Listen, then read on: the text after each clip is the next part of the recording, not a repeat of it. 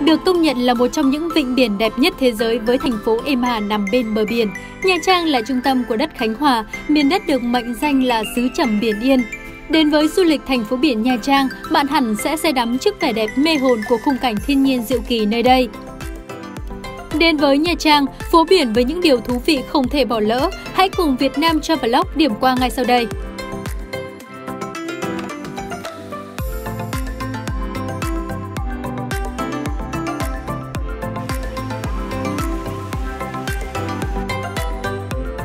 Ngắm nhìn cảnh đẹp biển cả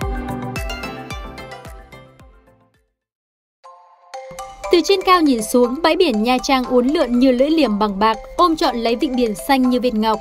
Bờ biển dài hun hút, xanh biếc, mênh mang. Đi bộ trên bãi biển hoặc ngồi nép dưới rặng dừa trông xa ra biển cả bao la, ngắm nhìn các hoạt động sôi nổi trên biển. Nha Trang được xếp vào một trong những vịnh biển đẹp nhất thế giới với diện tích rộng 507 km vuông, cùng 19 hòn đảo lớn nhỏ. Vịnh Nha Trang hội tụ khá đầy đủ các yếu tố núi non, sông biển, đầm phá, hải đảo, đồng ruộng, xóm làng, tạo nên một giá trị phong phú và đặc sắc. Đối mặt với biển cả xanh ngắt, bạn sẽ không thể cưỡng lại sức hấp dẫn mà rút chiếc máy ảnh hay điện thoại thông minh ra để chụp hình, ghi lại khoảnh khắc tuyệt vời trên biển và vẻ đẹp kỳ diệu của biển. Hãy thỏa sức tận hưởng nhé!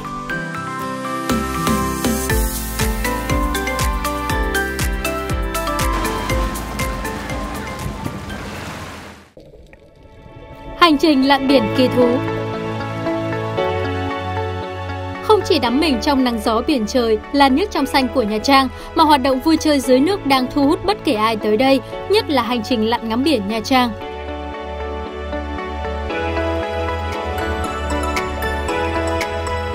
Về mặt sinh thái, Vịnh Nha Trang là một trong những hình mẫu tự nhiên hiếm có của hệ thống vũng vịnh trên thế giới, bởi nó có hầu hết các hệ sinh thái điển hình, quý hiếm của vùng biển nhiệt đới. Khu vực hòn môn của Vịnh Nha Trang có đa dạng sinh học cao nhất với 350 loài dạng san hô, chiếm 40% san hô trên thế giới.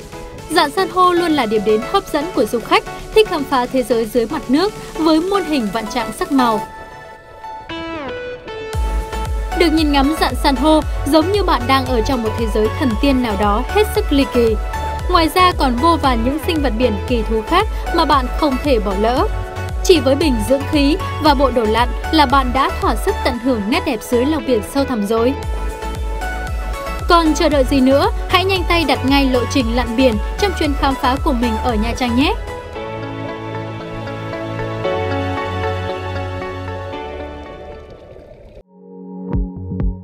Hòa mình vào các môn thể thao khác trên biển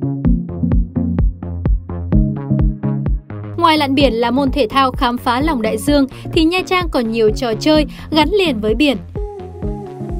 Cùng nhún nhảy trên biển với môn thể thao flyboat, chèo thuyền kayak và hơn 20 môn thể thao trên biển khác. Vào thời điểm mùa hè, các trò chơi môn thể thao trên biển biến các khu du lịch trên đảo Nha Trang thành những sân khấu trình diễn của những người yêu tốc độ và cảm giác mạnh.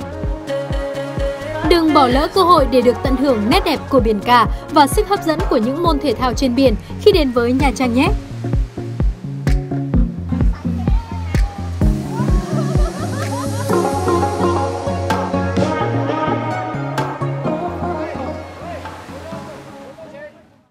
Chiêm ngưỡng cuộc sống biển đảo Là vùng vịnh có nhiều hải đảo lớn nhỏ, Nha Trang trở thành điểm du lịch hải đảo lớn của Việt Nam – Hiện nay ở đây luôn có những tour đưa khách ra đảo hoạt động mỗi ngày, giúp du khách ngắm nhìn được tròn vẹn, nét đẹp đời sống sinh hoạt bình dị của người dân miền biển. Đảo Hòn Miễu cách thành phố Nha Trang không quá xa, chỉ mất 15 phút đi tàu ngư dân. Du khách sẽ được chiêm ngưỡng cuộc sống thường nhật của người dân trên đảo. Người dân cẩn mẫn, đàn vá lưới, hay buôn bán nhỏ nhỏ mỗi ngày để chăm lo cho gia đình mình. Lênh đênh trên những chiếc thuyền thúng đưa khách ra thăm bè cá. Tất cả hiện lên một cách sinh động và thú vị.